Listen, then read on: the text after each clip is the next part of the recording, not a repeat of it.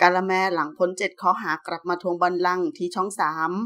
หลังเจอมรสุมลูกใหญ่จนต้องออกจากงานพิธีกรทุกรายการสาวกาละแมพัชรศรีเบญจมาศยอมทิ้งงานในวงการหลายปี จนล่าสุดเจ้าตัว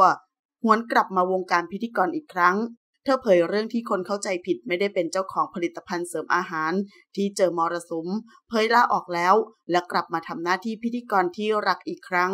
รับมีเสียน้ำตาหลังมีกระแสข่าว พร้อมเผยถึงเรื่องความรักกับหนุ่มฝรั่งเศส เศรษฐีหมื่นล้านรวยติดอันดับโลก พอมีผู้ชายเป็นเศรษฐีระดับโลกลำดับที่ 300 กว่าเข้ามาจีบ ถือว่าเป็นประสบการณ์ดีๆ ในการได้ไปเที่ยวที่ต่างประเทศ ขอขอบคุณข้อมูลจาก t s w e t i n f o ขอบคุณค่ะ